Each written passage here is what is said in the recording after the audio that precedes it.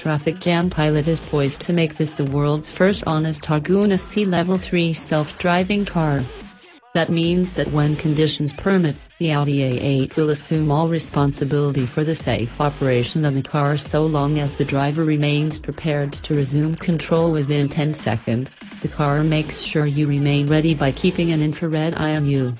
TJP's required conditions are those during which we all hate driving, a nose-to-tail traffic jam at speeds below 37 miles per hour the car must also be traveling on a limited access highway with opposing traffic separated by a rigid barrier.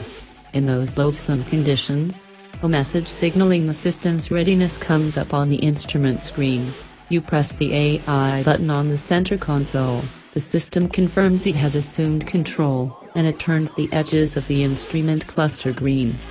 You are now officially off duty and free to do other things that leave your head facing mostly forward and unobstructed. Unfurling the morning paper is out, and your eyes open.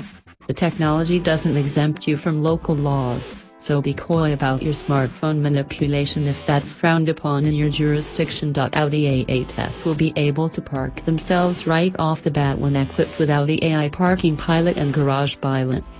The former trumps the current crop of parking assist systems by always scanning for parking spots anytime your speed is under 25 miles per hour and by handling all shifting and braking.